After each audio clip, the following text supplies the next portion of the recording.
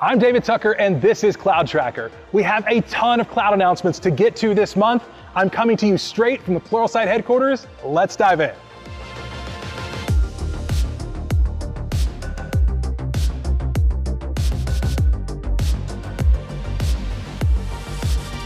Let's jump right into our featured announcements for this month. In a previous episode, we talked about using predictive auto scaling for your infrastructure on GCP. This feature for Compute Engine is out of preview and is now generally available. This feature enables the service to look at your CPU history for your managed instance groups and use machine learning to determine the number of VMs that are needed. In many cases, this can highlight a need for scaling before you even realize it's needed. Now, this feature isn't targeted at all workloads. Google does provide guidance directly in the console in the configuration for your managed instance group on whether or not it would work for your workload. This feature is available in all Google Cloud regions. Next, Google has released Cloud DNS for GKE in preview. With this feature, you can leverage Cloud DNS directly for GKE without having to use a cluster-hosted DNS provider. In addition, this feature supports the full Kubernetes DNS specification. This removes the burden of having to manage your own DNS server while still allowing local resolution of DNS queries on each GKE node. To take advantage of this preview, you will need to be using GKE version 1.18 or later for new clusters and GKE version 1.19 for later for existing clusters. Now, in addition, you need to be leveraging Cloud SDK version 341 or later. Check the link in the episode notes to see how you can get started integrating Cloud DNS with your GKE solutions. Google Cloud's Artifact Registry is a next generation container registry but last month, Google announced that in addition to containers, they are offering support for other types of artifacts in preview. This includes Java packages for Maven, Node.js packages for NPM, and Python packages for PyPI. If you're creating reusable artifacts for your organization using any of these, you can integrate this private artifact store into your build process. You can even make sure that you're storing your artifacts in the regions where you're deploying so that you can reduce latency. Now, as I mentioned, this feature is in preview, but you can check out the link in the episode notes to see how you can get started working with it.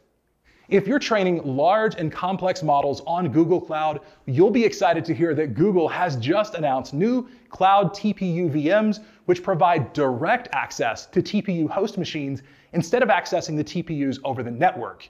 You can use this to do all of your model creation on a single VM that can access the TPU directly and later expand out for large-scale training. Aidan Gomez, the CEO of Cohere, states that direct access to TPU VMs has completely changed what we're capable of building on TPUs and has dramatically improved the developer experience and model performance. For this initial preview, these VMs are available in the US Central 1 and Europe West 4 regions. Next, we have our platform updates for GCP, and we have a lot to get to. First off, we have two important updates for the storage transfer service that affect organizations that are adopting a multi-cloud strategy. The first of these is that the storage transfer service has added the ability to integrate with AWS Security Token Service or STS. This means you will no longer have to pass credentials to transfer data from an Amazon S3 bucket, but instead, you'll be able to use a federated identity. The next announcement is similar, but focused at Microsoft Azure.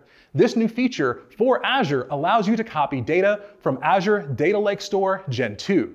Now it is important to note that both of these features are available as a preview, so I wouldn't connect them to your production workloads just yet.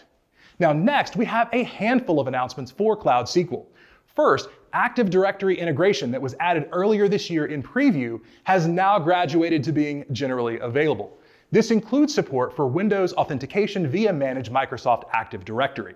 Now, in addition to this announcement, the latest release of SQL Server 2019 is now supported by Cloud SQL. This includes many new capabilities, including accelerated database recovery, an improved query engine, and resumable index build, just to name a few. Grab all the details in the link from the episode notes.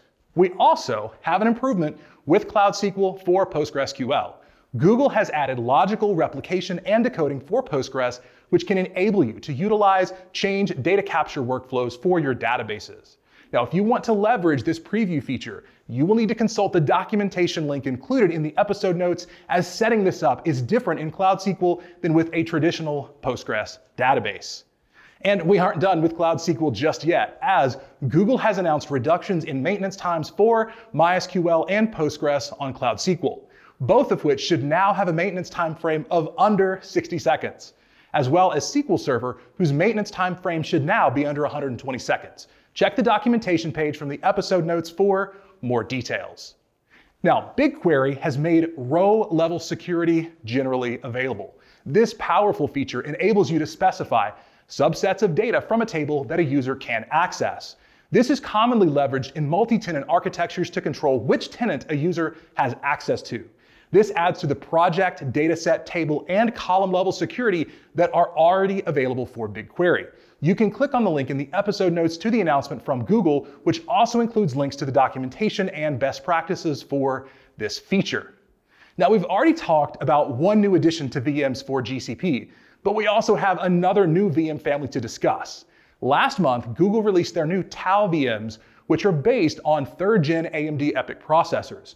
These processors have full x86 compatibility, so your existing applications can run on them without modification. According to Google, Tau VMs offer 56% higher absolute performance and 42 higher price performance compared to general purpose VMs from any of the leading public cloud vendors. Now, if you're interested in checking out the stats that Google uses to back up this claim, check out the link in the episode notes. Next, Ubuntu Pro is now available on GCP. These images are now generally available thanks to a partnership between Google and Canonical. This version offers increased lifetime security updates, additional compliance certifications, and cloud-based pricing. To leverage this OS image, just select it when creating a new VM in the console. Now, the announcement includes additional information on the benefits, as well as a link to the announcement from Canonical and links to the relevant documentation. Finally, Google has announced that the Google Cloud VMware Engine is now HIPAA compliant.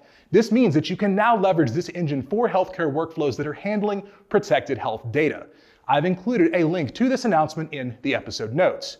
Additionally, if you are new to running HIPAA compliant workflows on GCP, I have also included a link to Google's guidance for running these workflows in the cloud. For this month's featured learning resources, I have three completely different types of resources. First up, there is a new video course in the Pluralsight content library that covers an essential skill when working in GCP, scaling.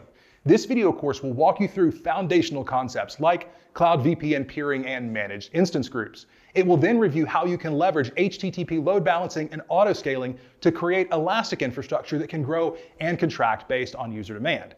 After you review this, you will learn how to automate this infrastructure using Deployment Manager and Terraform.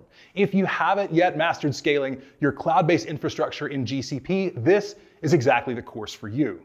Now, finally, you may have heard over the last month that Pluralsight and A Cloud Guru have joined forces to give you and your teams the expertise and hands-on experiences to thrive in a cloud-driven world. Later this month, we will be hosting a panel of experts from both companies to discuss the past, present, and most importantly, the future of the cloud. A Cloud Guru's SVP of Cloud Transformation, Drew Firment, will moderate the discussion with cloud experts Forrest Brazeal, Kesha Williams of A Cloud Guru, and Janani Ravi, Dan Whalen, and Ned Bellavance of Pluralsight. You will learn all about cloud culture and what it means for you. You'll learn what skills are required to be successful and how you can acquire them. You can find the link to sign up for this online event in the episode notes. Thank you for joining us for this month's Cloud Tracker for Google Cloud Platform. You can find links to everything I've discussed in the episode notes. I'll see you next month to discuss what's new in the cloud here on Cloud Tracker. Thank you.